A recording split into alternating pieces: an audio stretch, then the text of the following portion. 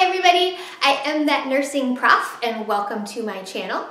I created this channel for my students and really all students to use as a resource, hoping to make nursing school a little bit easier and a little bit more palatable. In today's video, we're going to be mixing insulin. So we're gonna gather our supplies. I hope you can see this. I tried to like zoom in a little bit so you guys can see this. So we have our insulin NPH, which is our intermediate insulin, and then our regular insulin, we cannot mix long-acting insulins. That is your Levemir, your Lantus. Those are things that we want to avoid mixing. Some insulins already come pre-mixed. If you've seen them, if like a Novolog 7030 or a Humalog 7525. Those are already pre-mixed insulins, so you should not mix those with anything else either. They're already good to go. So make sure you have the right type of insulin. You also want to make sure you have the proper syringe. So for insulin, we're going to be using insulin syringes. I'm going to see if you can zoom in here you can read it. Not very good, huh? Oop. So it is in units. And this one holds, Focus, there it goes. Um, 100 units. So insulin syringes come in units. If this said mLs on it, then it would not be safe to give. And then of course we need our patient, which is our little squishy thing, and some alcohol wipes. So the process of mixing insulins is actually very simple. What you want to do first is inject your air.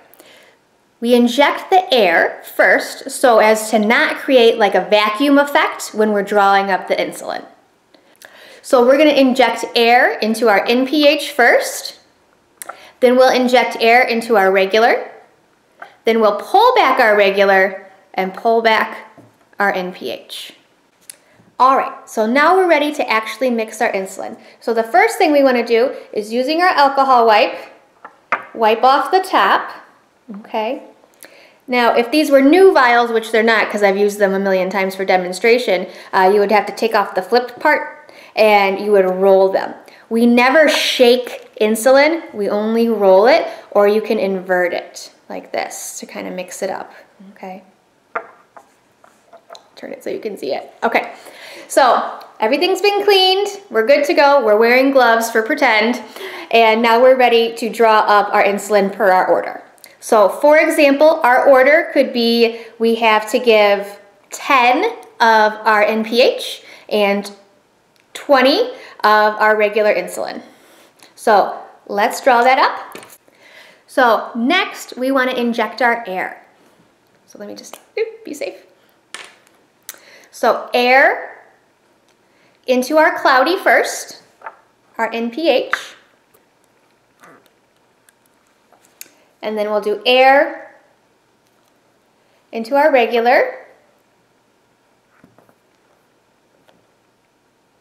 And now while we're already in here, we're gonna pull back. Now after we've injected our air into our regular, we're gonna pull back. So we'll invert the vial and we're gonna pull back to our desired amount. We'll get rid of that one. Now we're gonna do our NPH. So we have our syringe that still has uh, the amount of our regular in there and we're gonna put it in our NPH vial invert that, and then pull back the desired amount. So for us, it's gonna be a total of 30 units. I don't know if you can see that pretty well. It's gonna be 30 units. And you notice I didn't push any of the regular insulin into the NPH. That's what we wanna avoid. And so now it's mixed and it's ready to be given to the patient.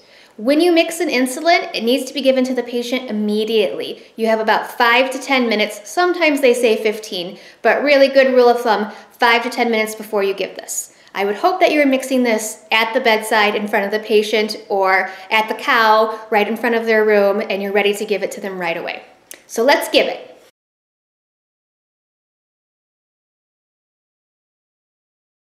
Now we're ready to give it. So we're gonna take our alcohol wipe, we're gonna cleanse the skin.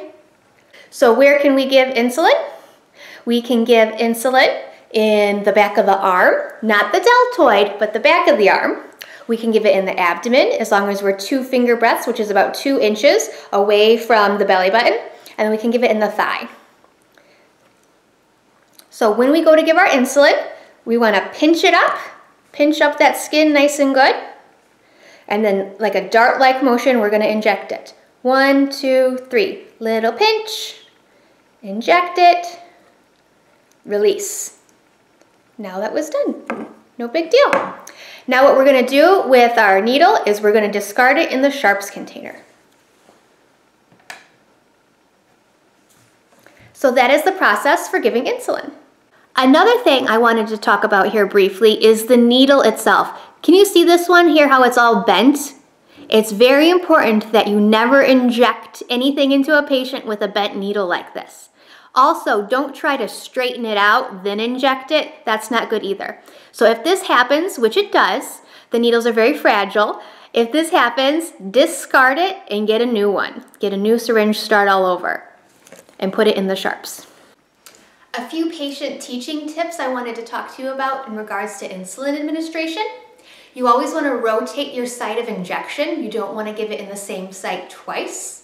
What can happen is uh, it can cause scarring, bruising, hardened areas under the skin can develop, and then if you go to give it again in that site, then it's not going to absorb properly, it's not going to be able to do its job correctly. So rotating sites is really important. Also, we already talked about it, but disposing of sharps in a sharps container. Another important thing about insulin is you never, ever, ever want to reuse your needle. You saw before when I showed you how it was all bent and stuff. So that's because these needles are very thin and they're very fragile. They're made that way for a reason. It's a good thing they're made that way. It's for the comfort of the patient so it doesn't hurt as much when they have to inject themselves or when they get injected. But because of that, they're very easily damaged. And worst case scenario is they're at home administering insulin to themselves after you've given them education in the hospital and they reuse that needle and a little piece of the needle or the entire needle gets broken off and stuck inside their skin. So obviously that's not something we want to happen to our patients.